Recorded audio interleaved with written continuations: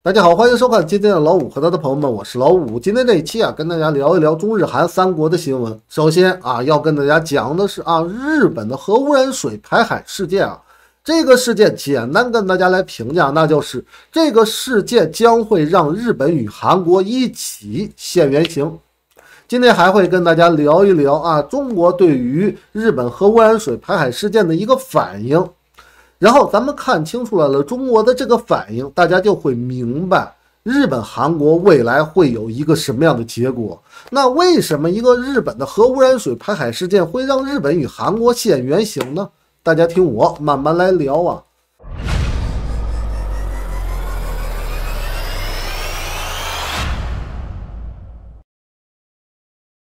首先跟大家聊一聊关于日本排放核污染水这个事情啊，我相信啊，很多的中国的同学啊都想不明白日本人为什么要这么去干。我相信很多的同学心里面都会有这样的一个疑问，就是说为什么日本人为什么要顶着那么大的压力，一定要干这种全世界都会围着他骂的一件事儿啊，对不对？这就是我跟大家讲的，日本人要现原形了。我相信啊，很多同学认为啊，你日本。不排放这个核污染水，你花钱就能解决的一个事情，你为什么不就花点钱把它解决了呀？对不对？我相信很多同学都知道一句话，那就是啊，能够依靠着花钱解决的事情都是小事情，能够靠花钱解决的问题那都是小问题，对不对？我相信很多同学都听过这样的一句话，可是日本人他不懂啊，我必须要跟各位讲，日本人不明白的呀。日本人为什么一定要把那个核污染水排海呢？如果那个核污染水安全无害，你别说让日本人把它喝了，你工业用水行不行？为什么连工业、农业用水你都不用的一个玩意儿，你跟我说它是安全的，而且满世界宣传你有多安全，你要多安全就有多安全呢？对不对？你会你你真的是不安全，你就再多建点那种存储罐，你再多放个几年，对不对？花点钱不丢人，对不对？花点钱真不丢人。你这样做事真的是让人恶心，对不对？呸，恶心，太恶心了。我相信很多中国的同学根本就想不明白，那日本人肯定背后藏着一个阴招，他要害人，对不对？大家就会这样去猜测他。但是我跟各位讲，没那么多阴招。日本人为什么他不愿意啊？好好的处理这个事件，就把这个水往大海里面一排了事儿。他为什么？其实就是日本人的性格，他不负责任。日本多少年啊以来，他打造的形象啊，那个是啊，这个礼貌。对不对？温文尔雅，他又有礼貌啊，而且还有什么工匠的精神，对不对？中国国内的各种公知啊，一宣传就是啊，日本啊，工匠的精神不得了了，对不对？这个之神，那个之神啊，各种神啊，日本什么寿司的神，对不对？啊，种大米的神啊，跟那个猴子玩的神，对不对？各种各样的神，日本哇，到处都是神，就宣传的这个形象特别的好。可是呢，日本人本质。他到底是一个什么样的情况？他就是不愿意负责任，而且他不愿意正视问题。大家如果对于日本的文化稍微有点了解的话，你都会有这样的一个感觉：他不愿意正视问题。很多同学都知道日本人说话暧昧，我跟大家评价过，也也评价过很多回啊。就日本人的那个暧昧，其实就是在逃避责任，他不愿意负责任。对不对？他对于自己有利的事情，他绝对不跟你暧昧。就像我之前跟大家讲过，对不对？啊，我日本是一个和平的国家，我日本是啊，这个世界上唯一受到核武器打击的国家。你看他说的多痛快，日本人会给你暧昧吗？会在这种问题上给你绕圈吗？啊，他是个和平的国家，他给你绕圈吗？啊，他给你绕圈，他给你这样表达啊，我日本最喜欢大家不要打打杀杀，对不对？大家要要啊，呃，这个平心静气，好好沟通。我们只做生意，不开 biu biu。你看日本人这样跟你说话吗？他说的多直接呀，我们是一个和平的国家，对不对？占便宜的事儿，人家特别直白，然后要要负责任的事儿，人家就啊开始跟你绕了。日本人就这种性格，他打造了那么工匠精神，这个神，那个神。没有用的啊！干净，我礼貌，对不对？到最后现原形了吧？为什么跟大家讲日本人排放这个核污染水，是因为日本人不愿意直面问题？大家想想，日本人有多少件事儿他不愿意直面？只要让他负责任的事儿，哪件事儿？你看日本人给你直面对待，对不对？包含啊，这个这个排放核污染水的这个主体东京电力，他在处理这个福岛的这个核电厂这个问题上，刚开始那叫什么样的处理方式啊？刚开始连新闻都不给你报，有消息不给你提，对不对？明明可以早点处理，早点解决这个问题，不假装看不见，他不直视、不正视这个问题，对不对？谁出来负责任了？嗯？对不对？包含啊，二战的侵华史，二战的对于其他国家的侵略史，日本人正视吗？按照很多的同学，我相信啊，都没法理解。你道个歉，你跟大家说声对不起，再做点负责任的态度，谁还顶着你说不？他就不道歉，对不对？我相信啊，很多的啊，受中国文化熏陶的一些同学，根本就没办法理解你道歉嘛？啊，中国人还把你杀了不成啊？就不道歉，历史事实在那摆着，南京大屠杀，对不对？在那摆着这些事儿，死活不道歉。慰安妇到现在为止还在玩暧昧的，就不承认，对不对？这不就是日本人的性格吗？他负责任吗？啊，他正视问题吗？他解决这些问题吗？没有一没有一丁点儿正视问题的能力，没有一点儿解决问题的能力，这就是日本。大家把这个东西看清楚就行了。小人国家呀，对不对？简单来说，就是真的是小人呐。他把他自己打扮打扮的再高级，对不对？再有礼貌，那都是表面一层皮。扒开这层皮看里面，他宁愿伤害别人，他也不伤害自己。宁愿坑死别人，对不对？他也不坑自己，哪怕他自己为这件事稍微负一点责，只不过啊面子上挂不住了啊，要跟人道歉，要跟人说对不起，对不对？要做点负责任的态度，就不对不对？哪怕伤害你，他也不改。这叫这叫什么正人君子啊？这是不是小人呢？同学们，大家发现没有啊？是不是我跟大家讲，哎，这个日本的排放核污染水这个事件，让日本现原形。其实啊，我们大家别担心啊，日本排放核污染水这个事情对于中国有什么影响？有的日本人好受，我必须要跟大家讲，为什么这样说啊？咱们啊晚点儿会跟大家聊王毅啊说日韩的一些话呀。之前我相信同学啊也看到过，我也跟大家讲过，对不对？也就是啊那个鼻子修在尖，头发染在黄，你也不是外国人，对不对？你也不是西方人。然后的话，王毅讲这个话，以及啊，中国的外交部最近关于日本排放核污染水这个事件，其实都已经证明了，日本人你现原形吧，对不对？我就让你现原形，现完原形之后，我收拾你的时候，我才能下重手。你天天跟我假装和平国家，假装你温文尔雅，假装你有礼貌，对不对？假装你客客气气又干净，对不对？假装你啊做事认真，工匠精神，我还真没办法对你下重手。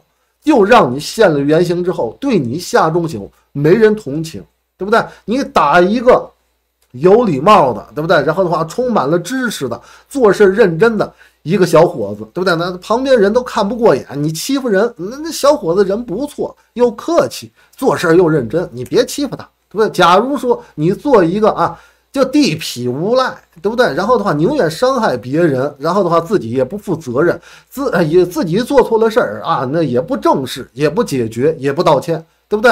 然后宁愿伤害别人，自己也不能道歉，自己说一句话就能解决的事儿啊，自己花点钱就能解决的事儿不解决，宁愿害死别人。所以你收拾这种地痞无赖的时候，没人同情啊。然后接下来跟大家聊韩国呀，韩国最近啊。然后的话，在这个日本排放核污染水这个事件啊，然后的话，这个表现也是非常的好，对不对？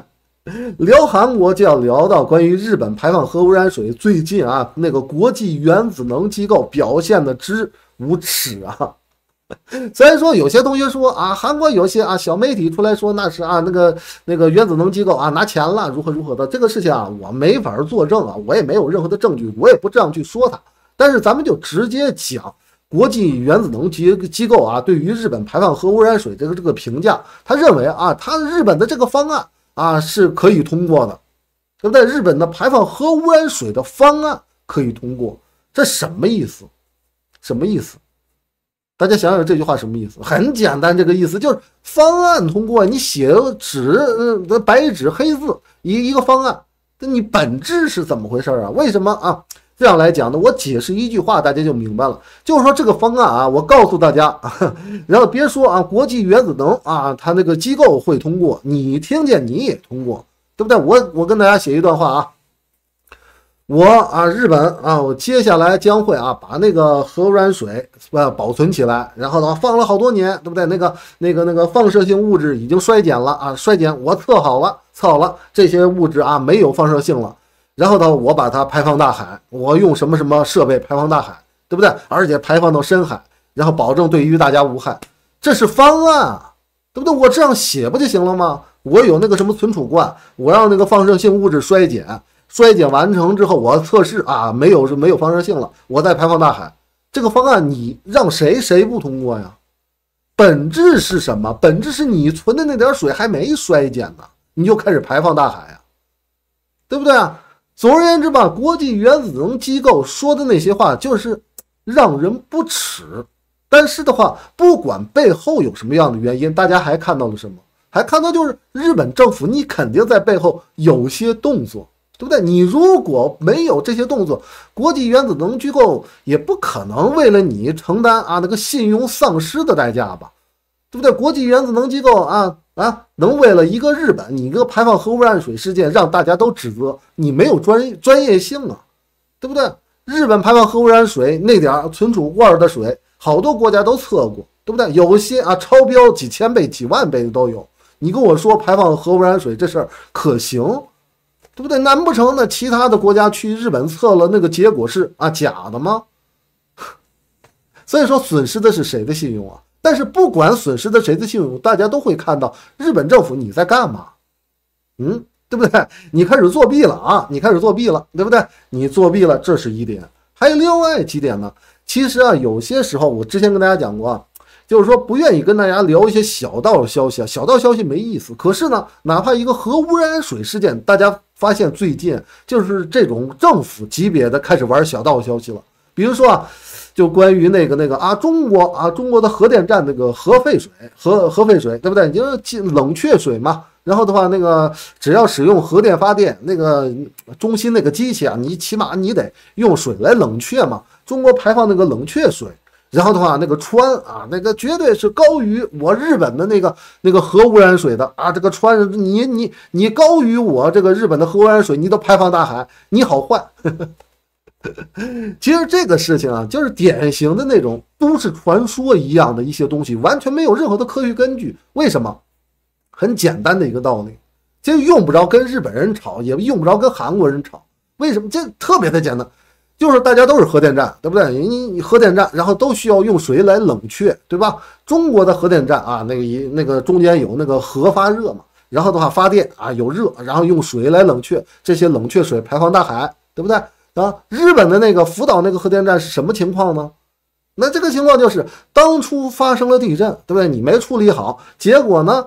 然后的话，那个啊，你那个你那个发电的那个中间那个核，那个核，对不对？热度啊太热了，把外壳烫漏了，烫漏了。结果呢？因为当时发生地震，你没有啊正常的冷却水进来，没有正常的冷却水来冷却，你日本当时就用了海水来冷却，对不对？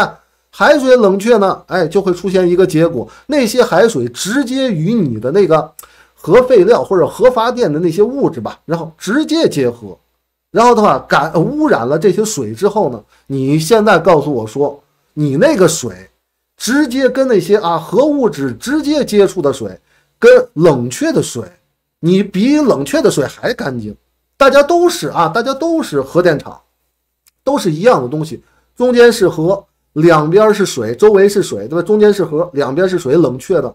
然后的话，我中国这个中间没坏呀，对不对？中间没坏，我只是冷却它呀。你那个呢？你是中间坏掉了，你中间的核核核那那那些啊那些废料啊，或者那些发掉发电的那些原物料，对不对？然后呢，跟水直接接触，你跟我说你那水比我干净，这你不用的用不着你有多深的科学的啊一个知识，用不着你多懂核电站。你只要懂这种常识，你都会觉得这种东西可笑，对不对？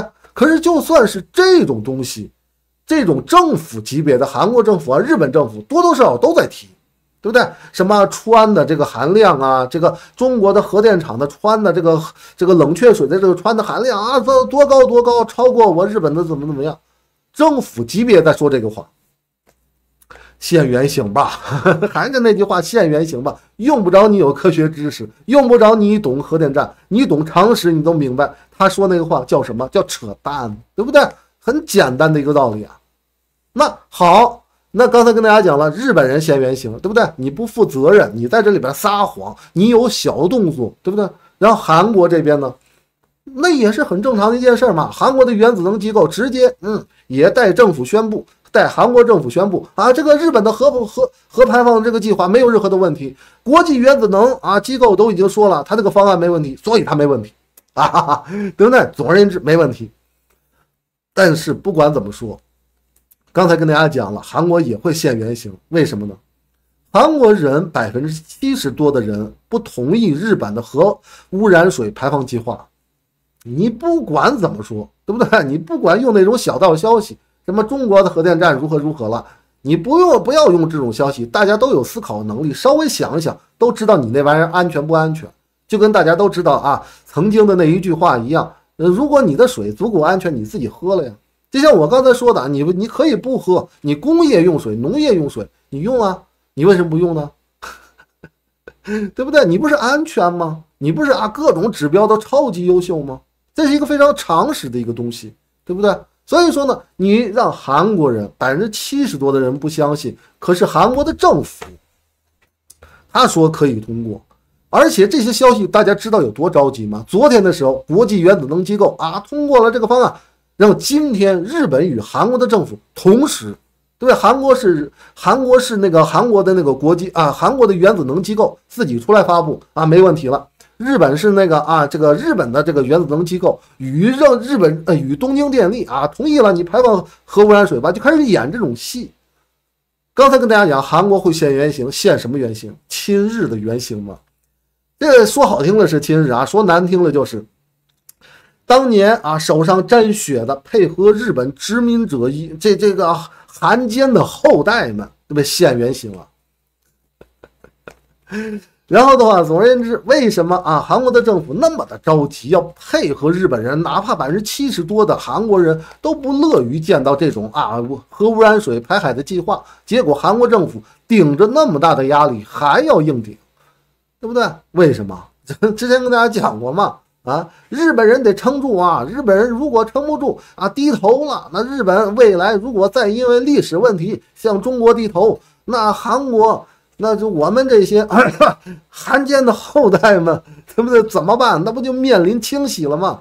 韩国的在野党那那么眼巴巴的瞪着我们呢，我们那是这这个这我们的这个韩国的执政党啊，都是财阀。军队体系啊，公务员体系、警察体系，原来配合日本殖民殖民者的这些体系的后人们，然后的话，我们是这这这些人的后代，那可怎么办？对不对？大家把这个东西看清楚就行了。总而言之吧，大家都在现原形。韩国的执政党现原形，也能够让韩国人、韩国人民看到一个现象，那就是好嘛。你为了配合日本人，你想要跟日本人搞好关系，你连这个你都能过呀，对不对？你连这都都能通过。当然了，还有别的事儿，比如日本的军国主义的旗又来到了韩国的港口，对不对？总而言之吧，各种各样神奇的事儿他都在做。你越做到最后，大家中国的同学不用生气，为什么呢？因为他自己会付出代价。韩国国内的党争嘛，之前跟大家讲过，韩国国内的党争的传统那都是带血的，对不对？尤其是韩国的执政党玩的越狠，为了自己啊，这个执政党韩国的右翼啊，韩国的右翼这帮势力，为了他们的生存玩的越狠，韩国的在野党同样也会越狠呐，这就是螺旋仇恨呐，一直在上升啊，这个东西啊没办法往下去掉啊。你玩的狠，我玩的要比你更狠，这就是韩国的党争，而且它基因里面带着的带着的就是啊，要弄死你全家这样的一种状态。所以说呢，你越现原形，你玩的越狠，那你韩国国内另外一方的势量呃势力，他对于你的反制的力量就会越提升。咱们等着看就行了。不过今天最开始跟大家聊啊，那中国还有新闻呢。对不对？王毅讲的这些话，以及啊中国的外交部啊对于日韩、对于日本，然后的一些啊新的一些喊话，可以让大家看到日本和韩国的未来，让大家看一看啊，韩国未来会有一个什么样的结果，日本未来会有一个什么样的结果。刚才跟大家讲了，日本是小人，韩国呢，你你各位想一想啊。韩国的这些执政者，韩国的右翼，韩国的这个右翼的这个政党吧，国民力量党，尹锡悦他们这些人，刚才跟大家讲了，是原来日啊韩国韩国配合日本殖民者殖民朝鲜半岛的这些财阀、军队、警察、财阀，然后公务员体系的这些后代，对不对？然后的话，这些人为了自己的生存，为了不被在野党给清洗，他现在。什么事情都可以做，哪怕百分之七十多的韩国人反对日本排海的计划，他也同意。这是什么？大家就像我刚才跟大家说的，也会让韩国现原形。大家想想，这是什么？原来大家对于韩国的印象是什么？原来大家印象啊，民族主义韩国人，对不对？然后的话啊，这个韩国人啊，为了这个对抗日本，怎么着都行，对不对？民族主义啊，要面子，自强自大。特别自大，我韩国宇宙的中心。你你原来对他的印象是这样，可是你现在看到他的看到他的形象是什么呢？还是士大主义的那个小毛毛虫，对也是一样小人嘛。为了自己的啊这一群体的这个生存，哪怕出卖韩国的利益，百分之七十多韩国人不同意的事情，他也要做，对不对？一般老百姓，一般韩国老百姓的这个想法。不重要，他所谓的民主自由去哪儿了？没有了，对不对？这叫什么？还是那个士大主义的小毛毛虫，还是汉奸，同样也是小人。所以说，今天最开始就跟大家讲，日本和韩国的这些新闻都会让日本、韩国现原形。一个核污染水事件让两个国家现原形，一个原来温文尔雅、有礼貌，一个啊自大狂，对不对？民族主义。结果呢？你真实因为一个事件一看好嘛？一个是小骗子，对不对？一个不负责任、没有办法解决问题的一个小骗子，另外一个还是汉奸，对不对？然后的话，拿一般的老百姓的想法不当一回事儿的那种汉奸，都是小人。那讲到这儿的时候，那就要跟大家讲中相关于中国的新闻了。最开始跟大家讲，中国会让日本、韩国付出代价的。那中国如何让日本、韩国付出代价？咱们先看外交部的这个讲法啊，外交部提醒日方覆水难收，疑惑无穷。其实我跟大家讲这八个字就行了，我不用讲这个外交部的这个发言人王文斌啊，到底都讲了哪些？就跟大家讲这覆水难收，疑惑无穷。看似在评价这个福岛的这个核污染水啊，往外去排的事儿，覆水难收嘛。但是本质上。你按照中国的文化来讲，咱们这句话可以解解释成为这件事儿，如果你做了，未来对于你来说疑惑无穷，我肯定要收拾你。为什么？为什么？我好话跟你说尽了，我劝你，比如说王毅，对不对？王毅最近啊那一套讲话，引发啊很多的 海外的一些特别可爱的网友啊 不开心。但是王毅讲这话有毛病吗？你头发染再黄，你鼻子修再尖，你就是西方人了，对不对？这话说白了吧，就是很简单的一句话。难不成啊，非得说你头发染黄了，鼻子修尖了，你肯定就是西方人？呸，谁信呢？对不对？王毅只不过说了一个很简单的话，结果那些很可爱的网友受不了啊，心痛要死了，对不对？我就我头发染黄，我就是西方人，就是就是，你爱是哪人是哪人，你想干嘛你干嘛。但是总而言之，王毅讲的这些话，这之前我跟大家也评价过，叫什么叫苦口婆心？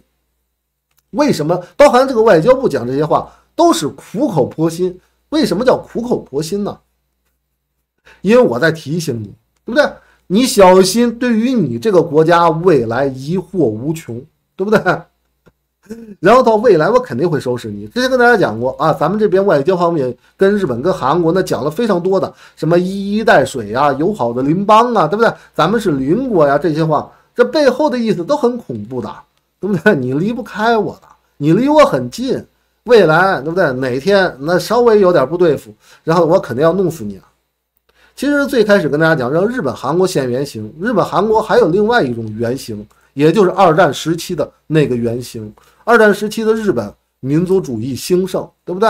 然后的话，侵略者的那种形象，到处去屠杀，在中国这片土地上干了一干了不知道多少件坏事儿啊，对不对？然后的话，这就是日本人的原型，也就是军国主义。然后的话，这个韩国呢，那就配合军国主义的走狗嘛，对不对？这两个原型如果再出现的话，我之前跟大家讲过，中国的政策某种角度来看，就是逼你日本人变成军国主义的那个形象。那再结合韩国来说的话，也就是让日本再军国主义，韩国你再继续配合日本当那个走狗，那我中国这个时候收拾你起来。那就理所应当啊，对不对？那就是唯，那就非常非常理所应当的一件事啊。所以说呢，日本、韩国现原形，中国这边在苦口婆心。其实咱们讲坏一点啊，咱们讲坏一点的这样的一个话，那就是什么呢？那那就是大家想想。如果说啊，咱们这边苦口婆心啊，真的是讲道理，你你你离我很近啊，你跟我关系好一点，对于你有好处。韩国，你啊，这个对对于你韩国经济有影响的五百多项原材料，你百分之九十多的程度都是依赖我中国。日本，你的出口，我是你出口的最大的这个啊贸易伙伴，我是你日本最大的贸易伙伴。韩国，我也是你最大的贸易伙伴，跟我修复关系吧，对不对？按照常理来说。他要能听懂这个话，他改了。但是你想要弄死他，他能够听懂的话，你就不会听，你就不会提醒他了，对不对？他如果能听懂你的话，他能够改的话，如果你真想弄死他的话，你就不会苦口婆心啊。